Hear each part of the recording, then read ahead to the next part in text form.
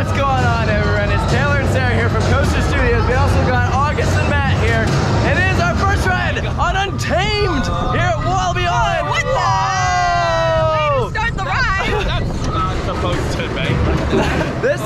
an RMC hybrid. It's a redo of the Robin Hood Vekoma Wind Roller Coaster. It opened here in 2019. Uh, So August has done this one. You really like this ride, right? I like it a lot, yeah. And it will warm up too. It's a hot day, so it's gonna be running amazing today. Excellent. View right here is absolutely great. It's a fantastic view. It's a very cool theme. All of this, uh, like trees and bushes, are like very overgrown. It's, it fits within this wilderness area. It's untamed. It is very untamed. Here we It's go. on the track. First drop. Whoa! Oh. Woo! Whoa! What? Oh, that was weird. That was so weird. Whoa!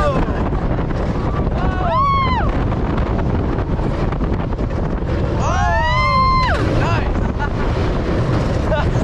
Oh, jeez.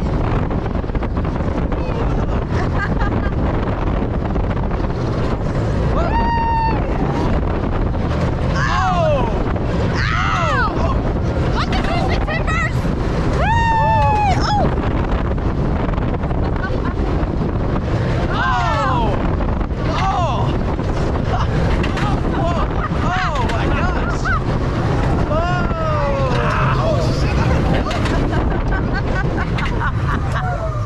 The ending is so good. Jeez, that return trip is like was so good. ejector. That was really fun. That's really fun. I like That's that a really it's, good it's one. distinctly different from Zadra.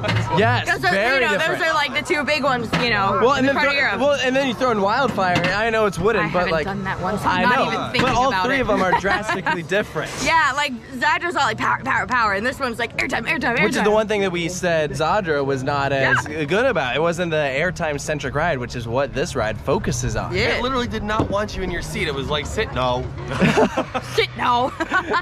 Uh-uh, uh-uh, Yeah, I feel like it combines a lot of different like types of airtime. So like, it'll have the small pops where you're like, oh my god. It also has like sustained airtime. That first element is like floater all throughout. Yeah, it really was. It's a really good combination of all different floater. like things. So.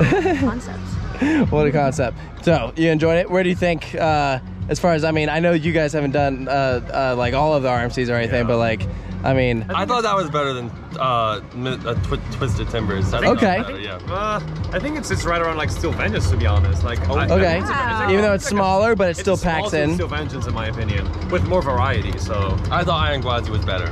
Yeah, I mean, well, I mean, All right, well, Iron Gwazi is the best it's, RMC. this is our first ride, so we're definitely gonna have a lot more time to process it. But I definitely really like it. I Oh, mean, yeah. I knew I would. Like, it's you know, it's an RMC. They, they kill it with these like layouts and everything. Yeah, and I'll tell you what, it's a one million percent improvement over the ride that uh, this replaced. That's Absolutely. sure. And I like it for its uniqueness. It's different than any of the other ones I've done. So. Oh, yeah, yeah, definitely. So we're gonna get some more rides in on Untamed here at Walibi Holland, but hope you guys enjoyed this video. Make sure to stay tuned for more here at Coaster Studios, and we'll see you next time.